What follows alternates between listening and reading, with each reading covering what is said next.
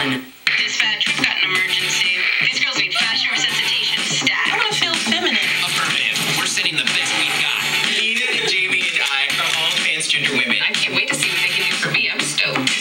We're going to use what we've learned, transforming ourselves, to transform you. It's about you beginning to really understand how amazing you are. No tracksuits. That smells really old. Retail therapy!